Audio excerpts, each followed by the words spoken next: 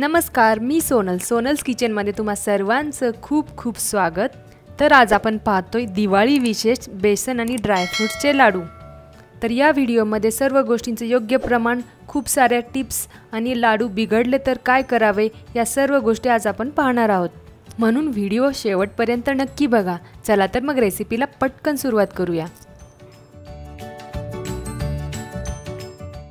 बेसन लाडू बनवण्यासाठी या ठिकाणी आपण अर्धा किलो बेसन पीठ घेतलं आहे मी रेडीमेड पीठ घेतलं आहे आपल्याकडे टाईम असेल तर चणा डाळ ही स्वच्छ पुसून ती थोडीशी भाजून त्यानंतर गिरणीमधनं आपण किंवा मिक्सरच्या भांड्यामध्ये थोडीशी रवाळ टेक्स्चर ठेवून ते दळून घेऊ शकतो. वाटीच्या सहाय्याने हे बेसन मोजायचं झालं तर चार फुल वाट्या भरून आपण हे बेसन पीठ घेतलं आहे चार वाट्या बेसन पिठासाठी या ठिकाणी आपण दोन सपाट वाट्या पिठी साखर घेतली. आपल्याला जर जास्त गोड आवडत असेल तर या दोन फुल वाट्या भरून आपण पिठी साखर घेऊ शकतो. तर आता पाहूयात तुपाचं प्रमाण. तुपाची एक वाटी भरून न वितळलेलं तूप घेतलंय. तूप हे वजनी प्रमाणामध्ये एकशे ऐंशी ते दोनशे ग्रॅम असावं. बेसनपीठ भाजताना गरज वाटल्यास आणखी थोडंसं तूप यामध्ये आपण ॲड करू शकतो. त्याचबरोबर ड्रायफ्रूट्समध्ये पाव वाटी काजू हे आपण थोडेसे मोठे तुकडे करून घेतलेले आहेत. पाव वाटी बदाम घेतलेत.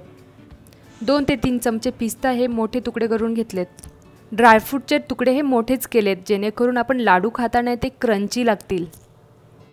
चला तर आपल्याला ज्या कढाईमध्ये बेसन हे भाजून घ्यायचे त्या कढाईमध्ये आपण मोजून चार वाट्या बेसन पीठ घेणार आहोत. घरात अवेलेबल असलेल्या वाटीने जर आपण कुठल्याही गोष्टीचं प्रमाण घेतलं तर बाकी गोष्टींचाही अंदाज आपल्याला घेता येतो. जर आपण डाळ ही दळून आणली थोडंसं जाडसर टेक्चर असेल तर तूप हे आपल्याला जास्त लागू शकतं.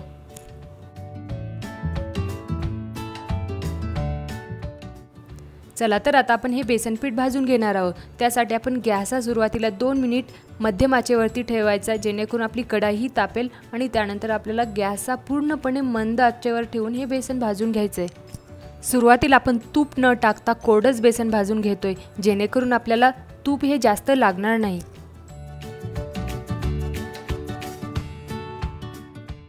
चला तर दोन मिनिट झालेले आहे कढाई ही छान तापली आहे आणि आता आपण गॅस हा मंद आचेवर ठेवून हे बेसन पीठ भाजून घ्यायचे.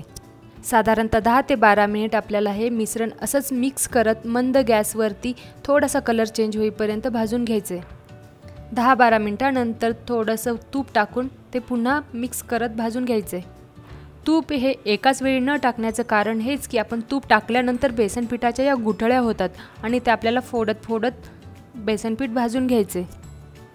पीठ भाजताना आपल्याला गॅस हा कुठेच मोठा करायचा नाही. एकदम मंद आचेवरतीच आपल्याला हे बेसनपीठ खरपूस भाजून घ्यायचं. बेसनाचे लाडू बनवताना आपल्याला सगळ्यात मोठी स्टेप आहे ती बेसन भाजण्याची.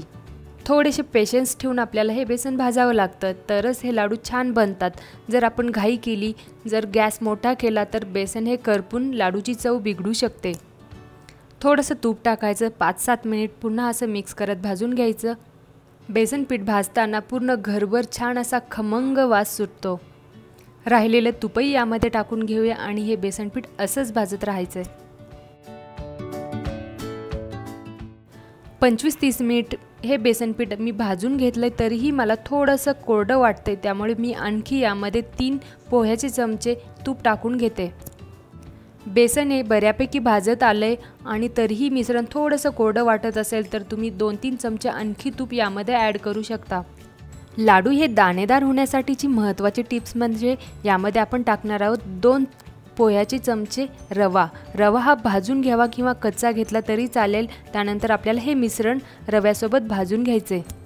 आणखी पाच सात मिनिट हे मिश्रण आपल्याला असंच भाजून घ्यायचे. या स्टेजला लक्षात घ्यायचे आपल्याला मिश्रण हे पटपट हलवायचं. आहे आपली खूप गरम आहे आणि मिश्रणही खूप गरम आहे त्यामुळे ते खालून करपू शकतं. जवळपास चाळीस मिनिट हे मिश्रण छान असं भाजून घेतल्यानंतर आपण पाहू शकतो याला थोडंसं तूप सुटायला लागलं आहे म्हणजेच आपलं बेसन हे भाजत आलं आहे बेसन हे छान भाजलं आहे की नाही हे कसं ओळखायचं? तर हे बेसनपीठ भाजून झाल्यानंतर तूप सोडायला लागतं आणि हे बेसनपीठ थोडंसं असं रेलायला लागतं. तेव्हा समजायचं की बेसनपीठ भाजले त्यानंतर आपण गॅस बंद करायचा आणि तरीही दोन मिनिट हे मिश्रण मिक्स करत राहायचं कारण की कढाई ही गरम असते आणि मिश्रण करपू शकतं. आता या स्टेजला काय करायचं? एका कढाईमध्ये अर्धा चमचा तूप घ्यायचं आणि त्यामध्ये सगळे ड्रायफ्रूट्स टाकायचे. हे ड्रायफ्रूट्स दोन मिनिट मंद आचेवरती छान असे भाजून घ्यायचे आणि त्यानंतर भाजलेले ड्रायफ्रूट्स या मिश्रणामध्ये टाकायचे. लक्षात घ्यायचे ड्रायफ्रूट्स हे आपल्याला भाजूनच टाकायचेत. कच्चे जर टाकले तर त्याची चव वेगळी लागेल. ड्रायफ्रूट्स हे आवडीनुसार कमी जास्त टाकू शकता. हे टाकल्यानंतर आपण मिश्रण हे पूर्णपणे एकजीव करून घ्यायचे.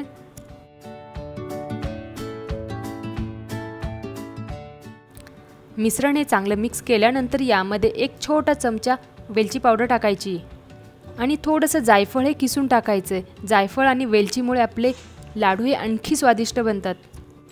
लाडूचं मिश्रण पुन्हा एकदा एकजीव करून घेऊयात. आपण पाहू शकता एकदम परफेक्ट कलर आला आहे आणि एकदम परफेक्ट टेक्चर या लाडूच्या मिश्रणाला आलं आहे आता आपण हे मिश्रण थंड होण्यासाठी ठेवून द्यायचं आहे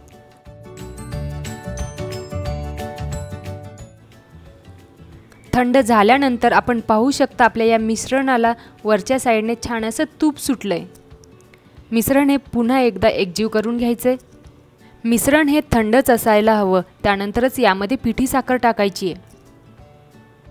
पिठी साखर एकदम न टाकता थोडी थोडी टाकायची आणि त्यानंतर मिश्रण हे हाताने छान असं मिक्स करून घ्यायचं. आहे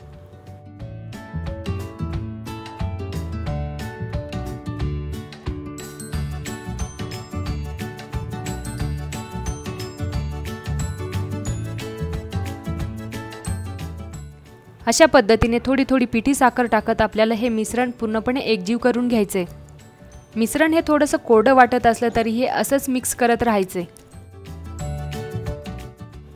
मिश्रणात पिठी साखर पूर्णपणे एकजीव झाल्यानंतर आपण पाहू शकतो याचा छान असा गोळा बनत आहे. म्हणजेच आपले लाडू बनण्यासाठीचं योग्य मिश्रण तयार झालंय. तर आता आपण लाडू वळून घेणार आहोत. तर आपल्याला एकसारखे लाडू बनवण्यासाठी आपण एक चमचा पळी कुठलंही माप घ्यायचं आणि त्यानुसार आपल्याला मिश्रणाचा गोळा घ्यायचा आणि त्याचे लाडू वळवायचे जी आपली पारंपरिक पद्धत आहे त्याच पद्धतीने दोन्ही हाताने आपण लाडू हे याच पद्धतीने वळवून घ्यायचे थोडेसे दोन्ही हाताने मऊ केल्यानंतर थोडेसे एका हाताने झेलल्यासारखे करायचे जेणेकरून सर्व साईडने मऊ होतात आणि चकाकी येते. गोल गरगरीत लाडू झाला की त्याला कुठल्याही एका ड्रायफ्रूट्सने थोडंसं गार्निश करायचं.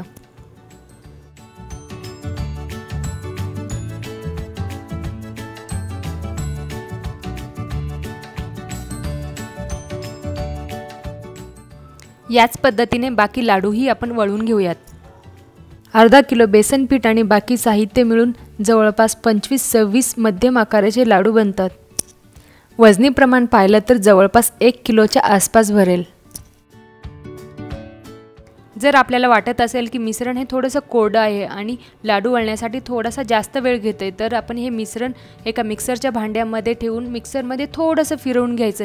जेणेकरून आपल्याला ते थोडंसं ओलसरपणा येईल आणि लाडू हे पटकन वळले जातील.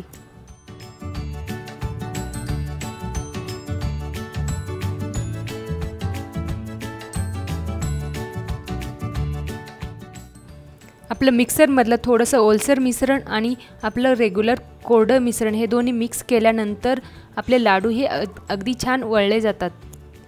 लाडू वळताना आपल्याला मिश्रण हे थोडंसं पातळ वाटत असेल तर अशा वेळेस काय करायचं? आणखी थोडं बेसन पीठ घ्यायचं ते थोडं खमंग भाजायचं आणि योग्य प्रमाणात त्यासोबत पिठी साखर या मिश्रणामध्ये मिक्स करायचे आणि पुन्हा लाडू वळायचे.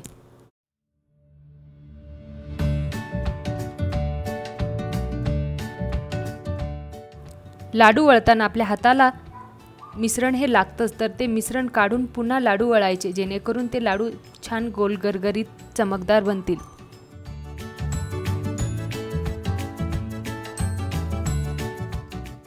तर पाहिलं ना किती सोपे आहे हे बेसन लाडू बनवणे. यामध्ये ड्रायफ्रूट्स टाकल्यामुळे आपले ते टाळूला चिटकत नाही आणि मध्ये मध्ये क्रंची लागतात. मिश्रणात थोडासा रवा टाकल्यामुळे छान दाणेदार बनतात आणि टोटराही बसत नाही. चला तर मग या दिवाळीला नक्की करून पहा आणि तुमचा अनुभव मला कमेंटद्वारे नक्की कळवा. व्हिडिओ आवडल्यास लाईक शेअर आणि सबस्क्राईब करायला विसरू नका. पुन्हा भेटूया अशाच एका नवीन व्हिडिओसोबत. तोपर्यंत नमस्कार.